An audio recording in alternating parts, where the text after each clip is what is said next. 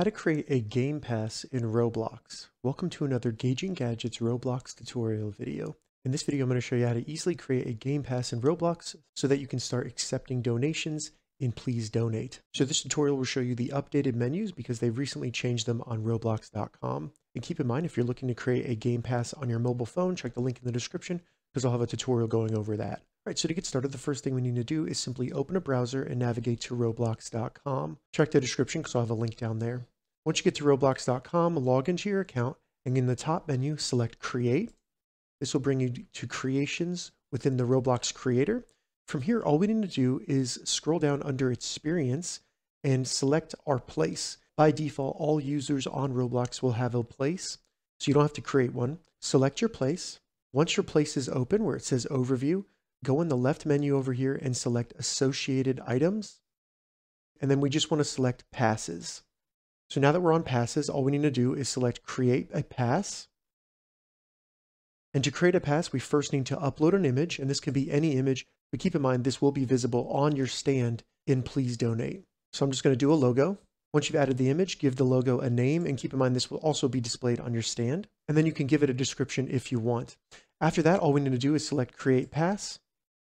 And there you go. We have our new pass right here that we just created. Now we need to actually add a price to it, and we do that by simply selecting it again, and then go over to the left menu and select Sales.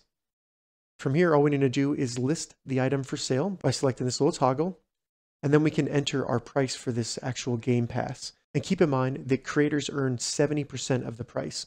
So if you put 10 Robux, you'll only get 7 Robux because Roblox will keep 7 of those. So that's just something to keep in mind when you're doing this. I'm going to do 20 for this one. Once you've entered your price, select Save Changes. And now when we go back to the associated items, we can see our Game Pass with the 20 Robux. And if the image doesn't show initially, it does take time for them to actually moderate the image. So now that we've created our Game Pass for Roblox, we can add it to our stand in Please Donate by first opening up Roblox and then selecting Please Donate. Go up to a stand, claim it by holding the E button, on your keyboard. And if you'd like to get a stand like this, check the description. I have a tutorial down there about that. All right, so that's how you create a game pass in Roblox. If you have any questions about this, leave a comment below. I'll get back to you as soon as I can. If you'd like to see more Roblox tips and tutorials, check the links in the description. If this video helped you, give it a thumbs up, and please consider subscribing to my channel, Gauging Gadgets, for more gadget reviews and tech tutorials.